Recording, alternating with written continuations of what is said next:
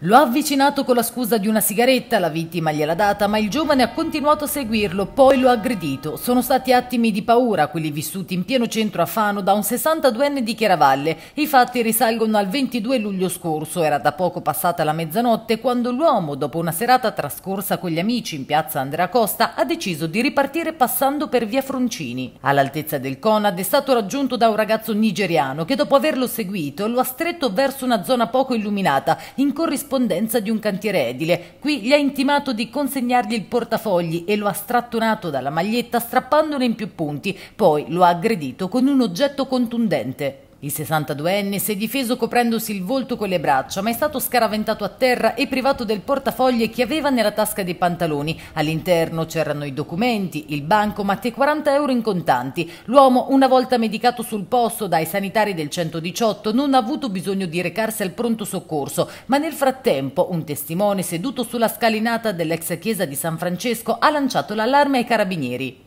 Grazie a questa segnalazione i militari hanno rinvenuto nella stessa via un collo di bottiglie in vetro rotto, ritenuto l'oggetto usato durante l'aggressione, e si sono messi subito sulle tracce del giovane. L'acquisizione delle immagini sia dall'impianto di videosorveglianza comunale che da alcuni sistemi privati ha permesso ai carabinieri di dare una fisionomia al ricercato e di ricostruire la via di fuga. L'epilogo si è avuto sabato mattina quando il ragazzo, un 27enne, è stato intercettato in via Montevecchio, ma alla vista della pattuglia si è dileguato a piedi. Sono stati quindi chiamati rinforzi e il nigeriano, visto al pincio, ha tentato nuovamente la fuga, ma è stato bloccato dai carabinieri. Il giovane, che era vestito con gli stessi indumenti immortalati dalle telecamere è risultato irregolare sul territorio nazionale e senza fissa dimora. Ha già dei precedenti e a suo carico ci sono due ordini di espulsione mai ottemperati. È stato quindi portato nel carcere di Pesaro e questa mattina è stato convalidato il fermo. Dovrà rispondere di rapina aggravata.